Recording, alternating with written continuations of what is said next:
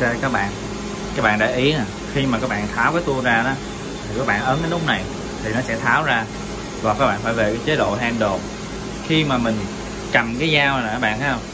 Tránh tình trạng nè cái tay của các bạn, cái ngón của các bạn ở đây nè, đưa vào đây nha. Đừng có đưa vào đây. Mình phải hô ở dưới này nè, thấy không? Hô ở dưới này. Đó, các bạn thấy không? Bạn thấy mình hô dưới này không? Đừng có đưa cái ngón của mình nè, vô đây nha.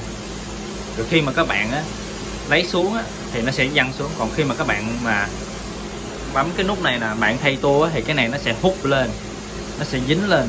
Thì khi đó, đồng thời nếu mà cái tay của các bạn không để ý, để ngay cạnh này một cái, là có nghĩa là cái móng của các bạn á, nó nó nó sẽ đi ra luôn, nó chầu ông bà luôn, hiểu không?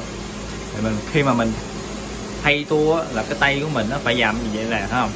Cái tay của mình nó cần phải tránh cái lưỡi dao, có nghĩa là trên này an toàn, đúng không? Rồi khi mà các bạn cầm cái tua đó, thì các bạn phải cầm ở dưới nha, dưới cái này. Đó, các bạn thấy không? Thì nó rất là an toàn. Thì khi mà các bạn tháo cái tua ra đó, thì nó sẽ không có bị gì hết. Còn nếu mà các bạn hô cái tua nè, mà các bạn hô kiểu này nè, các bạn thấy không? Thì nó sẽ gần cái này nè. Khi mà nó hút lên á, cái tay của bạn dính lên luôn. Bởi vậy mình không muốn cái chuyện nó xảy ra đó. Và mình cũng không muốn các bạn cầm cái cái dao. Tại vì khi mà có bán dao bén đó, các bạn chỉ cần tháo cái tua ra nó sẽ đẩy xuống.